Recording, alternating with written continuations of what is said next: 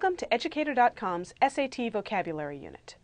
This lesson is on words 1 through 10 on our list of 100 useful SAT vocabulary words. All right, we're going to begin with a brief lesson overview.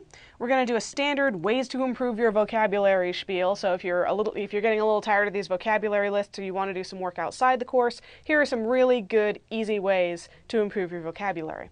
In this lesson, we'll be covering 10 words: erroneous, prudent, frivolous, indignation, credulous, longevity, misconceive, context, forebode, and predilection. All right. Now, if you're looking for ways to improve your vocabulary beyond these lessons, there are several really basic ways.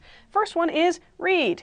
Read things. Honestly, there is no better way to learn English vocabulary than to see these words used in context. That's how you'll be seeing them on the test, and that's really the best way to learn them. So, what can you read? Read books, read magazines, read websites, and try to read things that are just a little bit above your usual vocabulary level. Where, things where you have to stop occasionally and go, hey, what does that mean?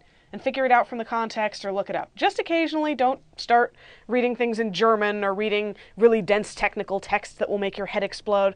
No, if you enjoy reading a certain kind of book, for example, a certain kind of story, you might try reading older books in that genre that would have more advanced vocabulary or more archaic vocabulary. If you enjoy reading certain kinds of magazines or certain uh, types of articles, then you might look for older books, older magazines, older collections of articles that cover the same subject but with a slightly different vocabulary. When in doubt, go for something a little bit older, a little more advanced, and a little bit more difficult. Secondly, listen. Yes, you really can learn vocabulary by listening. At least I hope you can with this course. Listen to the radio and not just the local rock and roll station. Listen to the news stations. Listen to public radio. Listen to anything that makes you think a little bit. You'll hear people use more advanced vocabulary in everyday conversation, and it will help you improve your vocabulary. Also, listen to audiobooks, particularly if you have difficulty actually looking at a page and reading. If you're dyslexic or have some other type of learning disability, audiobooks are great. There are actually some human brains that are wired to learn better through listening than through seeing things. So, when I was building up my vocabulary as a kid, I listened to a ton of audiobooks, and to this day, I can still hear narrators from those audiobooks in my head saying those words when I run into them in print. It helps me remember what they mean, helps me remember the context, and it just generally makes my vocabulary better. And finally, talk. What is this? You can improve your vocabulary by talking? Well, yes, you really can. Talk to your teachers and not just about whether something is going to be on the final. Actually, talk to them about the subject. Talk to them about anything that's interesting. Talk to educated adults. Talk to anybody that you know who has a more advanced vocabulary than you have or who's made a study of some particular area. Soak up that vocabulary. If they use a word you don't know, ask what it means. Most of the time, they'll be happy to tell you. Great ways to build up your vocabulary almost without effort. All right, our first word today is erroneous. It is an adjective, as you can tell by the yus ending, and it means containing or characterized by error or mistaken. So you see erroneous, think error. Okay, it is connected to errors, of course, and also to errant.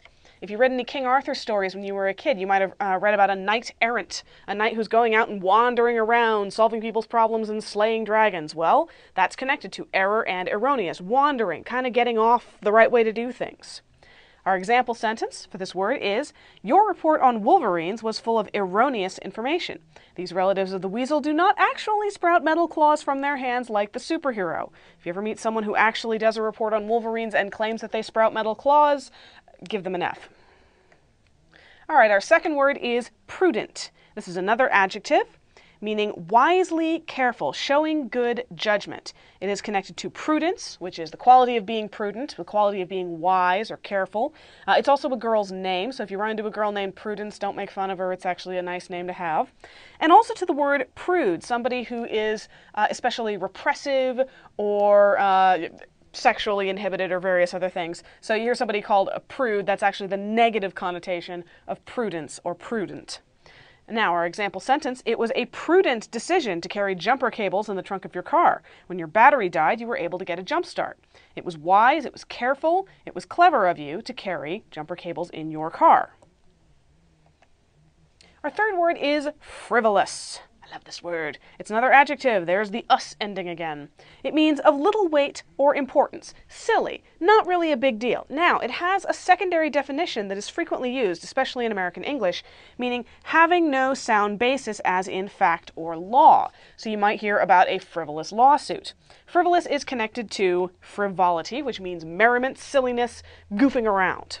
Our example sentence, the frivolous lawsuit demanded a million dollars from a coffee shop after a customer spilled hot coffee on himself. This is, of course, a silly lawsuit since it's assumed if you're going to buy a cup of coffee, you can at least handle holding a cup and not spilling on yourself.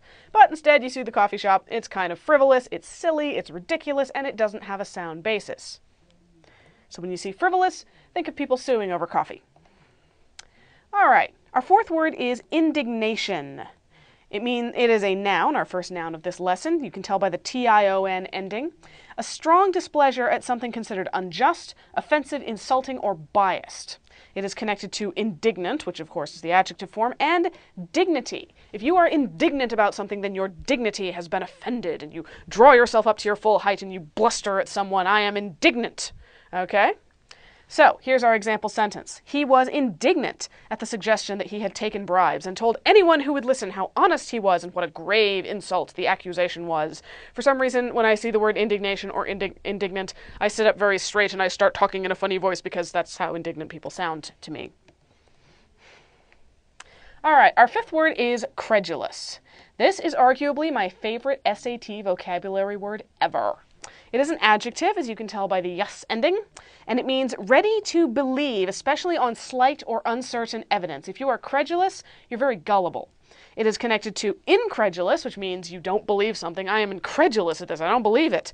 And it also means credulity, which it's connected to credulity, which means the quality of believing things. It's also connected to credit which is you, you know a credit card you swipe it at the store and basically the store is believing on the basis of your bank's guarantee that you can and will pay your bills. So once again that cred meaning has something to do with belief.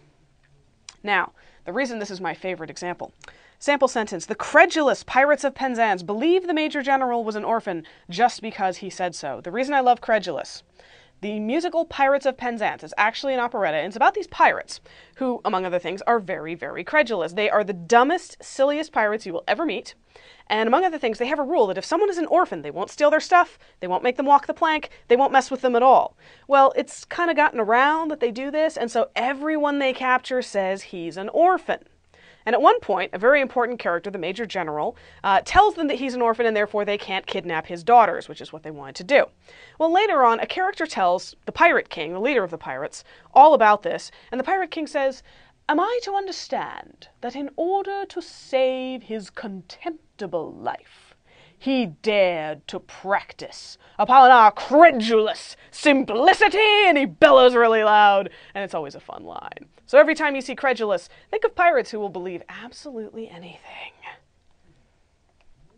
All right, our sixth word is longevity. It just means long life or length of life. It is a noun, so if someone has great longevity, they have a very long life, or you can talk about the longevity of a particular person or species, the length of life they typically have. Our sample sentence is Tortoises are well known for their longevity. Some have lived to be more than 200 years old. That's a pretty long lived vertebrate. All right, our seventh word is misconceive. It is a verb meaning to interpret wrongly or misunderstand. So there's our miss, which means not doing it right, and conceive, which means in some meanings to understand. So you're Mis- you're conceiving wrongly, you're misconceiving. It is, of course, connected to misconception, and that's the word that's used in our sample sentence. The common misconception that cats always land on their feet can easily be disproved by anyone who's ever seen my cat tumble off the couch. It is a misconception that cats always land on their feet. Just watch my cat fall off the couch, and you'll realize it's a wrong idea. The eighth word is context. Now, this is a very important word for the SAT because you have to use a lot of vocabulary. In context, you uh, will inevitably run into a question that says, in the context of sentence 47, the word blank most nearly means, okay, so it helps to know what context means if you don't already. Context is a noun, and it means the parts before and after a statement that can influence its meaning. It is connected to subtext, which is what, what you do when you read between the lines. Now, when you see the word text, you of course think of words, you think of print, and con, in this case, means with. So the words that are with whatever you're looking at, just as subtext means the words that are under whatever you're looking at, the hidden meaning. So let's see context in a sentence. In the context of a conversation about baseball, it doesn't make any sense to start talking about touchdowns because, of course, there are no touchdowns in baseball. So, in the context, makes no sense. When you see context, look at the words around it, the words with it. Our ninth word is forebode. Oh, that's a nice scary word. It is a verb meaning to predict, to warn, to forecast, or to foresee, especially something bad. It is connected to foreboding, which describes a sense that, you know, something bad is going to happen or something bad is happening around you. I've got a very bad feeling about this. Foreboding. We had a feeling of foreboding as we watched the black thunder clouds roll in over our cabin with its leaky roof. If you were in a cabin with a leaky roof, you really do not want it to rain. You have a feeling of foreboding. I've got a bad feeling about this. And finally, our tenth word is predilection. It is a noun meaning a partiality or preference. Okay, so somebody, somebody's a little bit partial to something, they have a habit of doing something, they have kind of a thing about it. It is oddly enough connected to the word diligent. Generally, people with predilections are very diligent uh, or assiduous in pursuing those predilections. Our example sentence My cousin has a predilection for telling tall tales, which means lies. He's always trying to convince somebody that he once caught a 20 foot long trout. Uh, those fish don't get that big. So there you have predilection. He has this habit of telling lies.